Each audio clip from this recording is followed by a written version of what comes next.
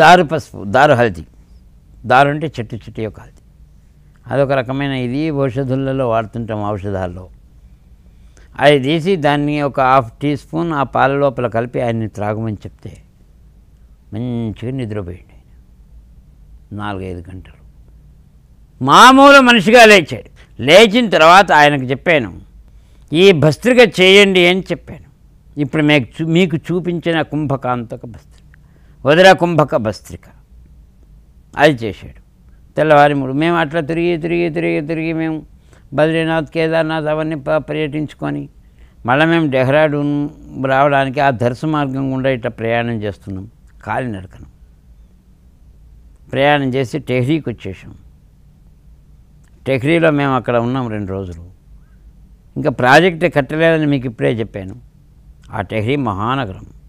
స్వామి వివేకానంద తిరిగిన ప్రాంతం రామకృష్ణ పరమహంస తిరిగిన ప్రాంతం మహామునులు యోగులు నానా రకాల అవతారాల్లో వేషాల్లో తిరిగినటువంటి పవిత్రమైన ధన్యమైనటువంటి భూమి ఈరోజు నీటిలో మునిగిపోయింది.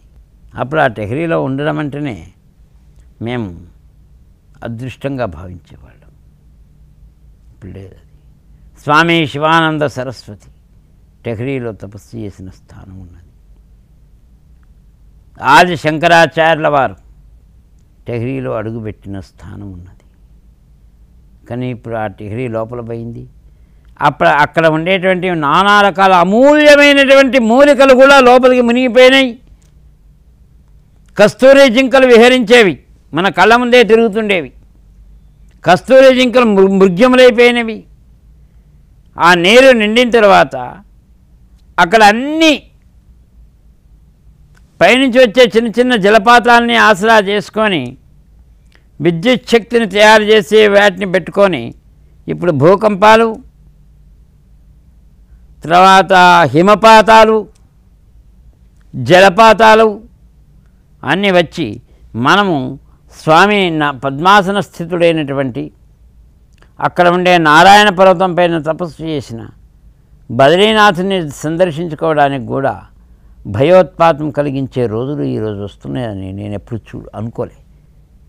ఇదంతా మనం యుక్తాయుక్త విచక్షణ జ్ఞానాన్ని కోల్పోయి యుక్తాయుక్త విచక్షణ జ్ఞానాన్ని కోల్పోయి చేసే పనులకి ఇవన్నీ నిదర్శనాలు. మనం చేసే ప్రతి పని ధర్మమని చెప్పుకుంటున్నాం మనం. ఏది అధర్మము ఏది ధర్మము అనేది మనం ఆలోచించాలి. యథోభ్యుదే శ్రేయో ససిద్ధి సకర్మ ఇది ధర్మ. మనము మన చుట్టూ ఉండే సమాజాన్ని మహోన్నతమైన స్థితిలోనికి తీసుకుని వెళ్ళడానికి ఏ సత్కర్మమునైతే చేస్తామో ఆ సత్కర్మమునకే ధర్మము అని పేరు. ఆ సత్కర్మ మన మనకే కాకుండా మన చుట్టూ ఉండే ప్రతి సమాజానికి ఇహ పరములలో భూత భవిష్యత్ వర్తమాన కాలాదులలో ఉపయుక్తమై ఉండాలి. కానీ కీడు చేసేదిగా ఉండకూడదు.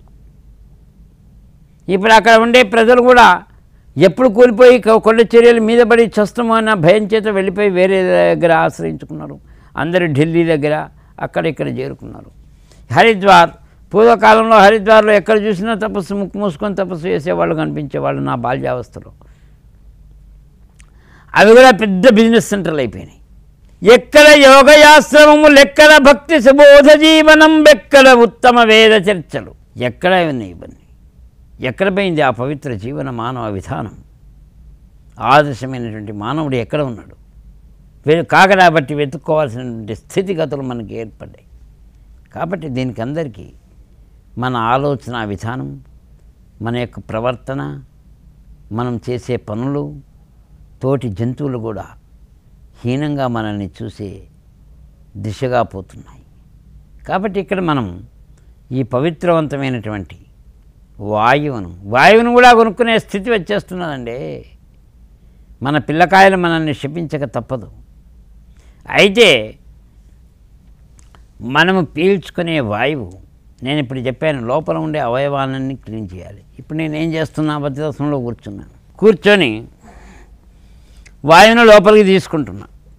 వాయువును తీసుకునే వాయువు కలుషితం కాకుండా ఉండాలి.